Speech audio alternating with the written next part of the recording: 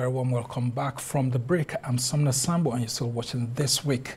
Uh, now, a coalition of members electing the 10th House of Representatives that is set to be inaugurated, um, which is otherwise known as the Joint Task 10th Assembly, has met in Abuja. The group, which says its objective is the unity of Nigeria and the stability of the incoming assembly, is an amalgamation of all the political parties with elected representatives coming to the 10th House of Reps.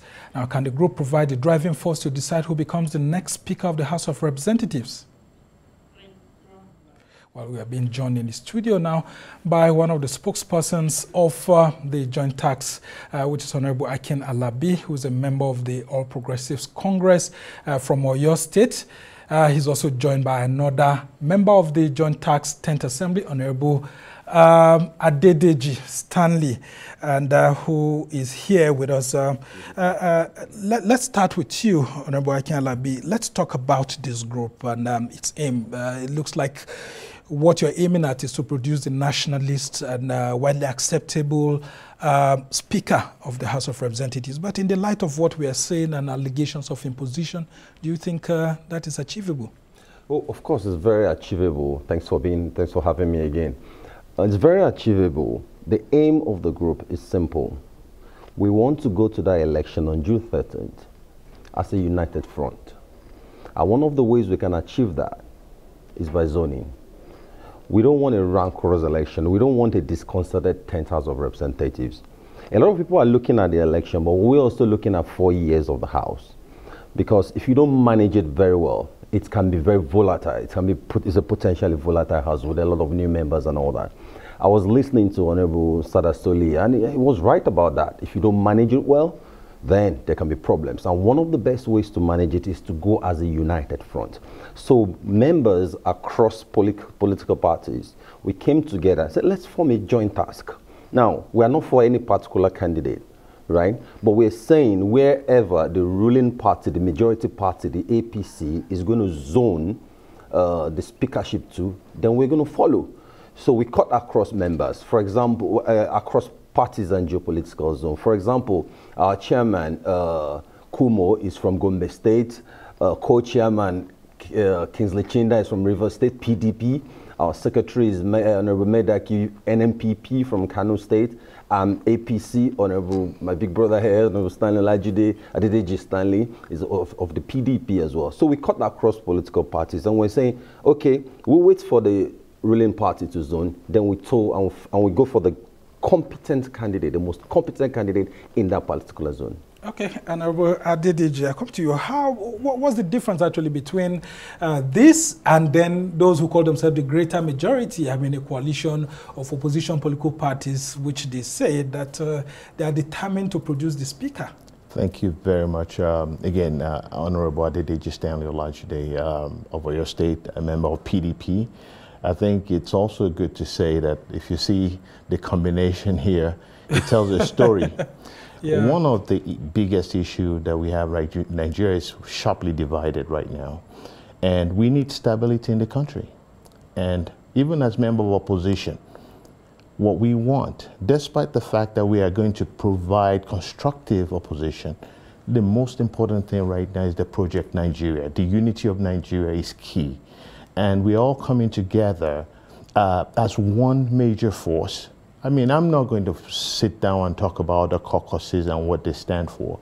What this caucus stands for is the unity of the House, unity of Nigeria, Nigerian project, how we are going to stabilize the House, how we are going to make sure that would deliver the quality representation that the Nigerians are agitating for. So have, that, you, have you in any way settled for Honorable Tajudeen Abbas, which we hear that uh, not to some my, people are alleging that there are plans to impose him, others are saying that he's a consensus candidate. One thing I don't do, I don't listen to speculations, and I don't just go to social media and pick up headlines. Um, things must be presented formally in order for us to take them. So if they're not presented formally, uh, for me, it's still a hearsay. So for now, until uh, the uh, ruling party uh, decides on the zone and where they want to zone the uh, speakership, we still await that decision. And once that decision is uh, properly communicated in the right channels, then the next step will follow. But for right now, we're waiting for that declaration. As a party leader in the state, Governor Seyi Makinde giving you directives or hints as to who you should settle for? you know, we, we stand for the unity of Nigeria. I mean, that's very clear with, um, with my governor on that. We stand for unity of Nigeria. The progress of Nigeria is one that uh, we, couldn't, we can just not negotiate. So right now, that's where we stand. All right, um, Akin Alabi, as, an, as an honorable member, you would uh, see that there are these fears among some of your peers that we may actually have what happened in 2015 repeating itself and uh, what happened in 2011. There are some people who are actually saying that they would want to pay the president-elect Bola Ahmed Tinubu back in his own coin for refusing to endorse Mulikat Akande in 2011. Well, what would you say to those kind of people? A lot of people are going to say different things. You talked about the greater minorities called greater minorities. but they call themselves the greater yeah, majority. Yeah, so um, they actually call themselves the greater minority because they're minority, but they have higher numbers, so greater minority. So, but just to speak to that, anything is possible if you don't put your acts together, right? You want something, you want your group or your section or your favorite to win an election. If you don't put your, your house in order, things can happen definitely. And that's one of the main reasons why we have this joint task force. The minorities, you say, if they come together and, uh, and present um, the, ma the majority number, he's of the PDP. He's in a joint task joint task. Honorable Kingsley Chinda is of the PDP. He, he, he's part of the joint task. Medaki of NNPP is part of the joint task. So this is not about caucuses or no caucuses. That's why we said this joint task is not about any candidate. We want the election to go smoothly and we must go into it as a united front. So some people might be planning things. It's a democracy.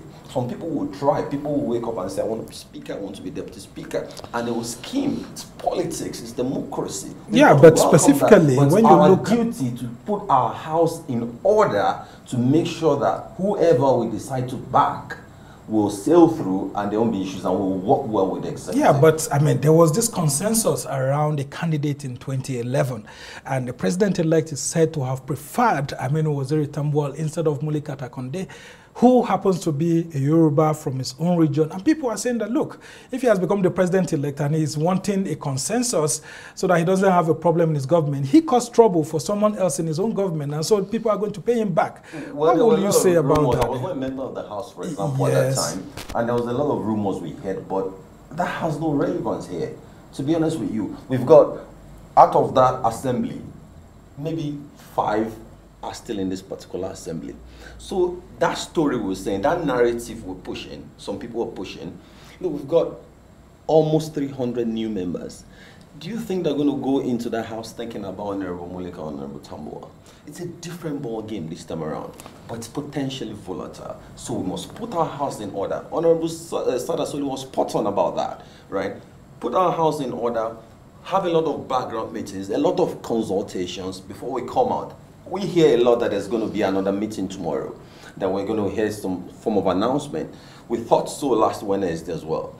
Every week we hear new names. Yeah, I mean, instead of people dropping out, we, I mean, people are coming into the race. we're hearing it's not central. Even there's declaration today. Yeah, I mean, yeah, I mean, you had a declaration today. Uh, Gagdi, Gagdi, yeah, today. Uh, yes, uh, and um, yeah, it's, and, and you have the majority leader to also declare Dogo and all of that. quality candidates. We have quality candidates across board, across the political zones. If we all say we're quality candidates, I believe I'm a quality candidate as well. yeah. But I'm not coming out. Okay. But if everyone says I'm quality, I'm quality, we're gonna have a rancorous and we can have a the so there has to be consensus yeah. building. Okay, uh, uh Honorable Lajide, let's talk about uh, the fears that people are nursing that this group is being put together by Governor Nyesom Wike to support and shore up uh, you know, some sort of um, uh, support for the uh, president-elect, so that he's working with other group of governors to see how uh, they produce a speaker. Uh, I mean, using his own leverage in the PDP to provide support for a group within the APC that will support, you know, a candidate that wouldn't give uh, Bola Tinubu, you know, any headache in his government. What do you have to say to that? Well, uh, Sambo, let me let me just put this thing in perspective for you.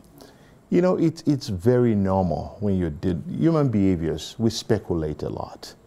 I'm one of uh, Governor Seyi Makinde's, uh, you know, frontline man. You know, so it's, I think it would be uh, ridiculous that uh, somebody would say, oh, Governor Seyi planted me in this uh, joint task. As five talks here and there. You, you, understand, as a matured man, a matured politician, that basically I know exactly, you know, look, let's look at the issues of Nigeria. Let's not worry about all these speculations, uh, Wike planted uh, Chinda to, uh, look, they're just pure speculations. But the, the real issue here is unity of Nigeria.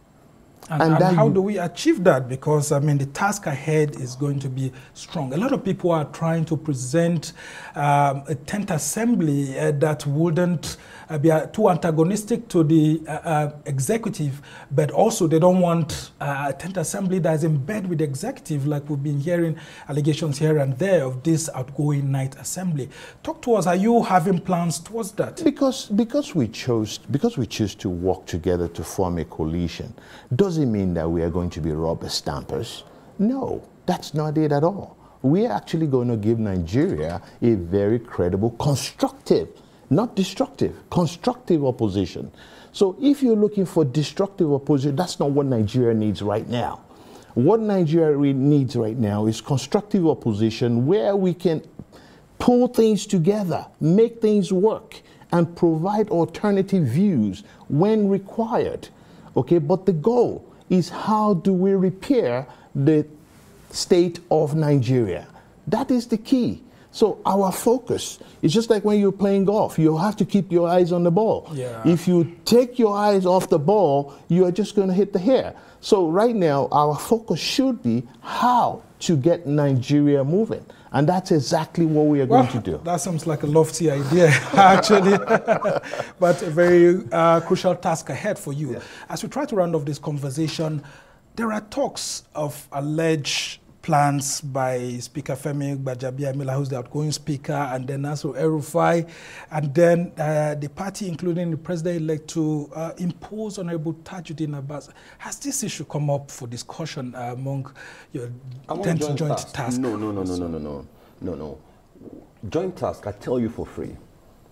If the party leadership wakes up tomorrow and says, we're going north central, joint task will follow. So that rubbishes this rumor, doesn't it? So I'm telling you that this joint task will follow. We're waiting for the direction. We're waiting for leadership to provide direction. And once it's provided, we'll go for the competent individuals. Because another misconception is that when people, some people say, well, zoning, why are you zoning? Just look for someone competent. No, when we say zoning, that doesn't mean we're jettishing competence. They are not mutually exclusive, right? We will say, let's look for the most competent in that particular zone, then the joint task. Are, are you also considering, uh, considering so, issues of religion? Uh, uh, considering what's happening in your party that you already have number one and number two coming from a particular religion? Yeah, we, we, we are hearing different things. Look, joint task is not really looking at religion, right? Joint task is. But you can discard it. We need to we need to fo- we need to look at the focus of joint task here. As even members of this joint task, obviously, we are politicians. We might have individual preferences, right? But as a group, the whole, the entire essence of this group is we're waiting for the APC to provide leadership, to, to provide guidance, to provide direction, and we'll follow the guide. So it doesn't matter who is politicking. It doesn't matter who Tajudeen Abbas he's talking to he's talking to uh, uh, Governor Rufai, he's talking to Asiwaju Bola Ahmed. It's fine. You want to become speaker, you've got to move and convince people. Yeah, yeah but Honorable Olajide, he's talking about waiting for APC. Are you also waiting on the PDP to provide a direction? the is one. Let, let, let, me say because this. your party let, has to provide direction. Let, me as, let me uh, say this. Um, we all came together. We all have different alliances and preference of candidates before we joined this. Okay? So, but we say, okay, whatever it is that they decide, they're the majority, they have the right to pick their speaker. Okay, whoever you decide will follow you. But we are going to be part of the decision making, picking the right candidate. So if you now have three candidates from one geopolitical zone, we'll, sat, we'll sit down together and vet that candidate. And based on that, we'll pick the right candidate that we're all going to support. Okay. In so the best interest of Nigerian How project. do you foresee the 10th Assembly as we try to conclude this conversation in terms of positive contributions to reducing unemployment, creating uh, you know, an atmosphere for investments in the economy, and then a presidency of the country under Bola Tinubu from the opposition perspective? Well, let me, from the position of opposition, we also know that for a fact that Nigeria, the economy is very volatile right now. Not, where Nigeria no, is not in isolation. It's, the meltdown is around, it's a global thing. But the situation in Nigeria is very peculiar. It starts from the leadership of the House. Whoever the speaker would be, must be somebody that basically is very vast, somebody that basically can, we can all put our heads together, talk about technology, talk about healthcare, talk about financial sector, uh, the, the beat goes on. So it's, it, it, starts from one. Once we start from there, I think everything else will roll together. And uh, could, could that person be someone who presented the highest number of bills in the outgoing night assembly? The highest number of bills you know, from the outgoing. Sample. Sample. I'm asking you because there are talks that that's the competence that you're looking for. and uh, that person. It's public record. Tajudeen Abbas has the highest number of bills and highest number of bills assented to by the president has become law today. So it makes him a credible candidate, PhD holder. It's quality, no doubt. If the APC, if the, if the leadership says we're going there, we have no hesitation following him. All right. As long as the, everybody's carried along, the house in put in, is put in order, and no surprises here and there, then we'll be fine. And if he goes elsewhere, there are quality candidates across other zones. Correct. The current deputy speaker. Yeah, I mean, uh, Idris was for four years, yeah. right? So the next thing you want to justify for the top spot, right? So the quality candidate, even my friend Benjamin Kalu, right? So the southeast are saying is that uh, it, it, should come to the southeast. Is a quality candidate, a highly charismatic. Is the current spokesman of All right, House. just very in quickly in 30 seconds. Why does it look like consensus is easier for the senators elect, but for the House members elect, it looks like it's a bit difficult uh, for the president-elect to achieve. The, the, the, the, fact, the fact that the numbers, you're talking about 109 members and 360. Managing human beings is hard. Mm -hmm. So one of the qualities of the speaker, managing, managing people is important. So 360 people, it's easier to manage than 100. But there are many other many other reasons, but at least let's, let's leave it at that. All right. Well, that's a good place to actually leave it. We must thank you immensely, uh, Honorable Akin Alabi. Uh, he's um, an honorable member-elect. I represent APC Oyo State, and he will be coming back to the House of Reps in the 10th Assembly. And, of course, Honorable Adedeji Olajide from the PDP is also uh, from Oyo State. And it's good to have an Oyo coalition here. Oyo is one. yeah, despite all that's happening. Yeah. So, well, let's hope that the consensus building continues way up until uh, the day of the proclamation, which is uh, June 13. And uh, we can only wish that we have a house that's well respected by Nigerians and that, that works for the people. We must thank you so much for joining us on the show. Well, this is where we'll have to draw the curtain on the program today on behalf of our team in London, Lagos, and here in Abuja. Thank you for watching and do enjoy the rest of your day. I'm Summer Samuel.